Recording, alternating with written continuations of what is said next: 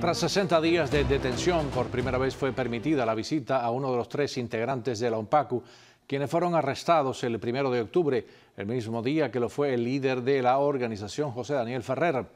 Los arrestos se produjeron en un allanamiento a la sede de la organización opositora en Santiago de Cuba. Grisel González tiene más detalles. Ernesto Oliva, miembro de UNPACU, pudo visitar a Fernando González Bayant, quien desde el 2 de diciembre se encuentra en la prisión de Mar Verde, en Santiago de Cuba. Bueno, nosotros lo vimos que le temblaba bastante la mano. En ningún momento la mano le pararon de temblar y estaba un poco eh, eh, retraído. ¿Retraído? Sí, tú le hablabas y, se veía un poco fuera de, la, de lo real bueno, eh, pudimos verlo, se encontraba físicamente como algo, algo delgado, bastante delgado. sí. ¿Y emocionalmente cómo lo viste? Bastante nervioso también.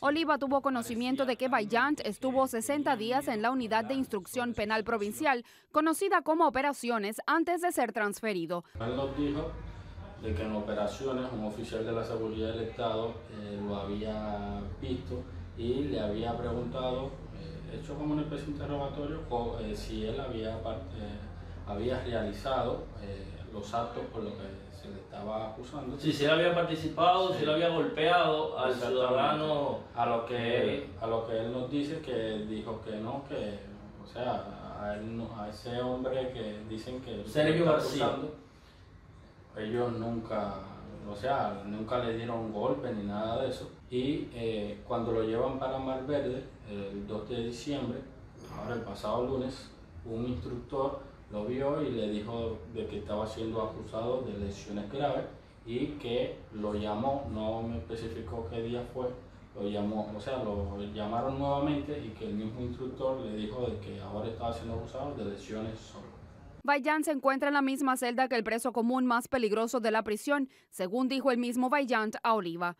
Ernesto Oliva también tuvo conocimiento de que el activista José Pupo Chaveco el 2 de diciembre fue trasladado a la prisión de Aguadores, donde se encuentra detenido José Daniel Ferrer.